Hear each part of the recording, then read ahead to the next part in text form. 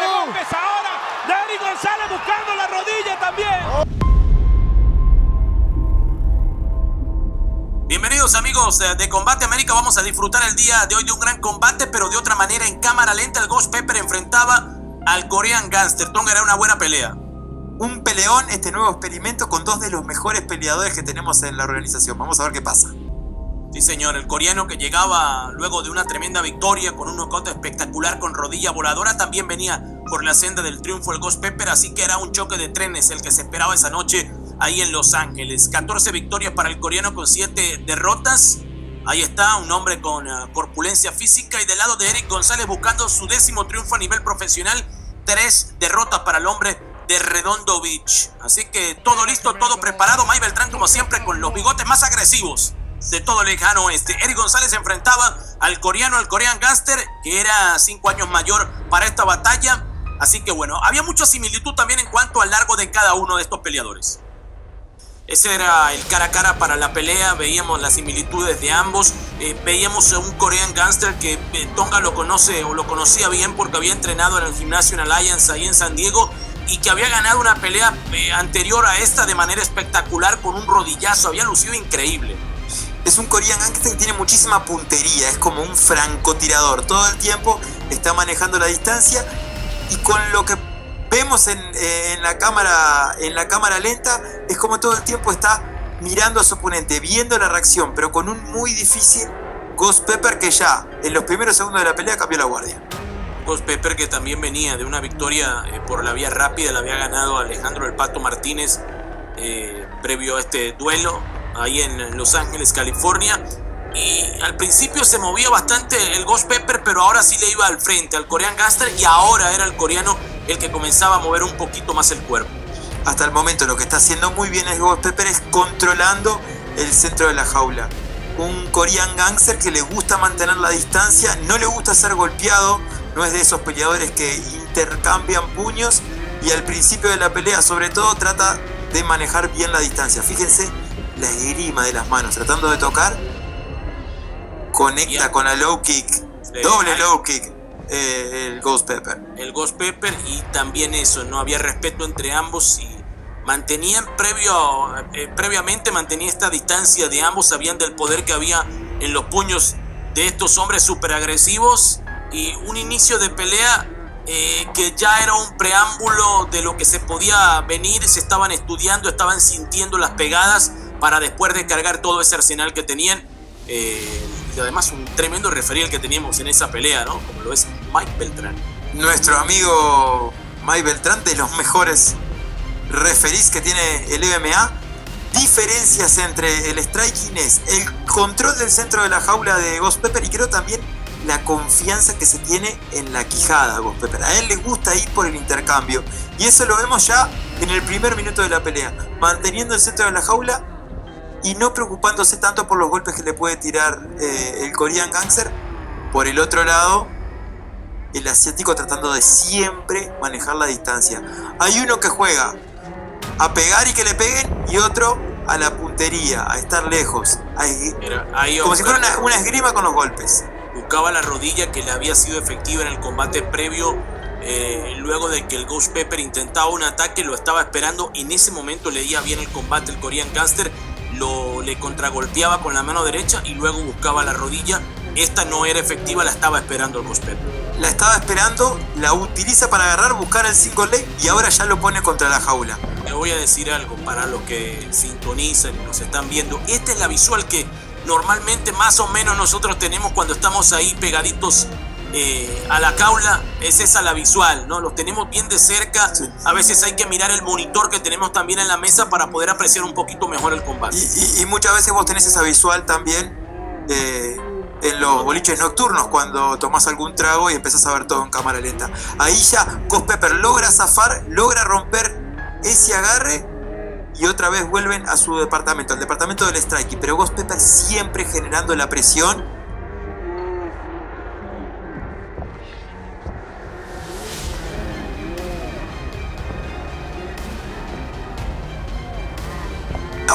y golpe bajo. Pero Tonga en este primer. se inmutó. En este primer asalto. En la cámara, En la cámara, en la cámara rápida no se había visto ese golpe bajo y ahora en la cámara lenta lo pudimos apreciar. Mira, te decía que en este primer asalto ya transcurrían dos minutos y la mayor parte del ataque de ambos había sido con las piernas.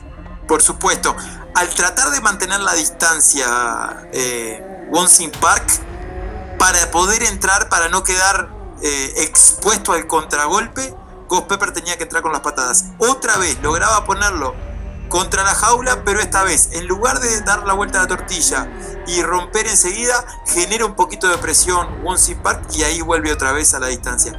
Esto es lo que le gusta al coreano. Tratar de mantener la distancia y buscar el golpe certero, con muchísima puntería. Lo que no le pudo entrar fue con ese recto de derecha, que ya lo viene tirando en dos minutos de la pelea varias veces y nunca lo pudo conectar eh, por su juego poco ortodoxo que tiene Ghost Pepper, la forma de moverse. Parece que la pierna entraba de parte del Korean Zombie al lado costal de izquierdo de parte del Korean Zombie. Eh, y también mucho volumen de golpes. Eran dos peleadores de los cuales se esperaba esto, que lanzaran buena cantidad de golpes y esto estaban haciendo en este primer asalto buscando es largo el Ghost Pepper y buscaba a distancia a su rival, lo pateaba también ahí al cuerpo. Y aparte, más allá que son los dos strikers y tienen ese volumen, la diferencia de estilos, el de puntería de Wonsing Park y el otro de guerrero. Ghost Pepper tiene eh, algo de latino en, su genética y se nota. cómo baja al rostro. Cómo baja la mano, cómo le gusta golpear y cuando entraba con ese jab aprovecha para cambiar los niveles y buscar el derribo. Lo consigue y ya está hablabas de, en la guardia del, de, lo efectivo, de lo efectivo que podía ser el coreano. Hasta tres veces entró al rostro de Ghost Pepper, pero en ese afán de conseguir el cuarto, ir hacia el frente, perdía un poquito el balance y por ahí lo aprovechaba el Ghost Pepper para llevarlo al piso.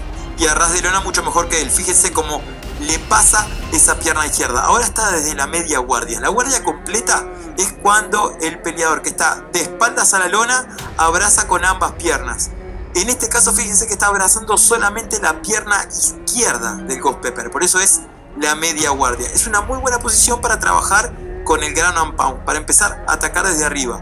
Con muchísima paciencia se lo ve al Ghost Pepper muy cómodo, no así el coreano que no puede sacar esas caderas. Fíjense para poder generar el espacio y pararse. Ahora de a poquito va a tratar de sacarlo. Obviamente con, con, la cámara lenta se puede apreciar un poquito más eh, la técnica que utilizan en el piso, rodilla ahora que entraba también el Ghost Pepper que poco a poco iba ganando confianza dentro del pleito. Ahí la con el clinch y buscando con la rodilla izquierda de nuevo. Ya empezaban los golpes del Ghost Pepper a hacer efecto. Y también se, se, ve eh, cómo va un paso adelante Ghost Pepper. Cuando logra sacar la cadera, el Korean Zombie logra levantarse, ella estaba preparado para hacer el clinch de Muay Thai y lastimarlo con las rodillas. Otra vez entra, cambia los niveles y ya está con el body lock, con los dos brazos por debajo. Mira, hay algo clásico, también de parte del Ghost Pepper y es el cambio de guardia. Cambio de guardia y cambio de ritmo. Lo utiliza mucho durante el combate y eso confunde un poquito a sus rivales. Exactamente, aparte de confundirlo también lo frustra, porque él baja las manos, recibe golpes y sigue yendo hacia adelante. Entonces la primera vez que vos le pegás con todo lo que tenés y él va hacia adelante y decís, capaz que no le pegué bien. La segunda, la tercera, la cuarta, decís, este tipo es imparable, le tengo que pegar con un bate de béisbol. Ahora, tú que habías entrenado y habías visto ya al coreano en Gangster ahí en, Alliance, ¿cuál era ese punto fuerte? La mano derecha entraba y también entraba el upper sobre el Ghost Pepper, pero ¿qué era lo mejor del arsenal de, parte del coreano? La mano derecha, la distancia, la puntería y sobre todo la paciencia. No tiene problemas en, esperar el momento justo para atacar. No está acostumbrado al tipo de peleas como esta, la que le propone Ghost Pepper, que es la del palo por palo. Fíjense, le entra clarísimo con el jab, pero en ningún momento va hacia atrás Ghost Pepper. Ahora lo vemos en cámara lenta. Es conectado y sigue siendo hacia adelante. ¿Cómo se pueden apreciar los golpes, no? Eh, por ahí llegaba un Superman Punch del Ghost Pepper y se veía a la perfección el brinquito, cómo lo conectaba con la mano derecha. Eh, había sido un primer asalto increíble, o sea, verlo en cámara lenta y ver la cantidad de golpes que se han lanzado es una locura. Imagínense cuando está en, cámara normal, buena conexión del coreano. Gangster de nuevo lo llevaba y lo pegaba ahí a, la jaula. Era un asalto un primer asalto y pegaba también el Ghost Pepper, que era parejo al final del día, más allá de que había tenido también control en el piso eh, el Ghost Pepper. Fue un asalto de ida y vuelta inclusive había jueces que le habían dado ganador a uno, otros jueces le habían dado eh, ganador a otro. Lo que sí eh, quedó claro es que Ghost Pepper tiene una muy buena quijada, aparte de su volumen y muy buen cardio. Algo que se le iba a complicar a medida que iba pasando el tiempo de la pelea. Fíjense, una combinación de 6, 7, 8 golpes y ese fighting IQ que tiene el Ghost Pepper, que muchas veces hablamos del fighting IQ, la inteligencia, saber cuándo apretar el acelerador. Por más pegada, precisión y corazón que tenga el, asiático, el Ghost Pepper siempre sabe cómo cerrar los rounds, cerrar las peleas. también, oye, y también había que hablar de eso, lo habías mencionado, la asimilación que tenía el Ghost Pepper, porque ahí lo conectaba, lo había conectado con poder, con esa mano derecha que había hecho daño en su combate previo, pero ahora era diferente frente al, a Eric González, al Ghost Pepper. Evitaba bien el derribo ahora el Korean Gangster. Un derribo importante porque era el derribo al final del round, de un round muy parejo pero era un anticipo de lo que se iba a venir en el segundo round. Oye, eran los aplausos de todo el mundo. Recuerdo la gente emocionada con lo que había vivido en ese primer capítulo. Eh, y era pensar en lo que se, se, venía para el segundo round. Ya sabíamos que habían medido fuerzas, eh, cada quien conocía el poder del otro, así que ya este era un poquito más de soltarse. Y también era difícil para, para las esquinas tratar de, de, cambiar la estrategia. En el caso de Pepper González, le habían pedido, recuerdo, que tirara más volumen y que tratara de mantenerse en la cara de él. Que no se fuera en ningún momento hacia atrás, que le estaba complicando. Y del lado de, de, de Park, lo que le había dicho Eric del Fierro es que tratara de moverse hacia el lado menos fuerte de Ghost Pepper, que no caminara hacia su golpe de poder. Sí, señor. Bueno, tremendo combate el que estábamos viviendo. Yo creo que cuando se hacen este tipo de matches se previamente ya se dice, bueno, vamos al estudio, golpe bajo ahí, eh, por parte Inintencional. de los Pepper, pero ya es como decir, bueno, sabemos que ese va a ser un tremendo combate por el match de ambos, el estilo que tienen. Sí, ahí vemos como fue totalmente accidental también, es porque al mismo tiempo estaba intentando tirar la rodilla a Pepper, por eso le pega el Korean Ganser. Recuerden que cada vez que hay una falta de estas, el juez le da 5 minutos para recuperarse, se recuperó enseguida Eri González y otra vez volvieron a la batalla. Otra vez, y, creo que ahora el Ghost Pepper aprovechando un poquito el boxeo que tiene, un boxeo con escuela también mexicana, el brinco que daba es largo y, y se puede dar ese lujo, ¿no? De estirarle ese brazo y llegarle a su rival con facilidad. Y al tener la oportunidad de ver estos movimientos en cámara lenta también, vemos que tiene un buen boxeo defensivo. Uno lo ve en cámara rápida y no se da cuenta, lo ve con los brazos bajos, simplemente moviendo un poquito la cabeza y parece que lo conectaran de lleno, pero no. Tiene la reacción necesaria para mover algunos milímetros y que los golpes no le den por completo. Ahí no solamente está por encima de Won Park, sino que tiene todo el peso del cuerpo sobre la cadera del coreano lo que no le permite tratar de buscar ninguna sumisión, tratar de pararse y le abre gran amparo. Logra escapar de esa presión. Wonsi Park trata de buscar la Kimura y lo usa para hacer el derribo y quedar por encima. Ya sabía que la debilidad también del coreano estaba ahí en el piso. O sea, ya Ghost Pepper previamente lo había, lo había visto. Con la derecha entraba de nuevo el coreano si algo tiene es un carácter, tremendo carácter, un hombre que va al frente, que se entrega al máximo, lo estaba demostrando esa noche ahí en Los Ángeles. Y vos lo dijiste bien, Ghost Pepper sabía cuál era la debilidad de Wonsin Park. Y Wonsin Park también sabe cuál es su debilidad, que es el piso. Entonces, cada vez que lo llevaba al piso tenía la urgencia de pararse. Ahí, después de haber sido conectado dos, tres veces, otra vez lo mismo de Ghost Pepper. Cambia los niveles, va hacia adelante y, lo derriba. Las piernas, muy bien. Le juntaba las piernas ahí para el derribo porque lo agarra caminando hacia atrás a, a Wonsin Park. Le engrampa una de las piernas ya desde, desde la media guardia, la guardia que le gusta a él, pero enseguida el coreano tratando de pararse. Un coreano que ya estaba más, más cansado y creo yo también que más frustrado. Otra cosa, Tom. Entró con combinaciones grandes y no pudo hacerle nada.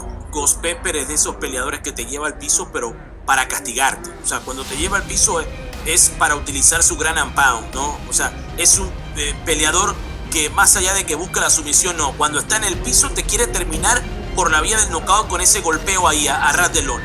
Exactamente, porque también pueden tirarlo al piso y tratar de lastimar con algún toquecito y sumar puntos para los jueces. No es el caso de, de Eric González, que siempre trata de salir con todo y ahí lo conectaba de derecha, lo lastimaba y mucho. A Wonsin Park hacía el follow-up, el seguimiento con el ground and pound, intentando sobrevivir, agarrando la pierna, atento a Mike Beltrán. Exactamente te iba a decir eso, cómo se movía de posición para poder mirar el rostro del coreano, esperar una reacción. Ahí lo conectaba de nuevo, iba a ver, de, mira cómo se mueve Mike Beltrán, para ver a dónde está pegando.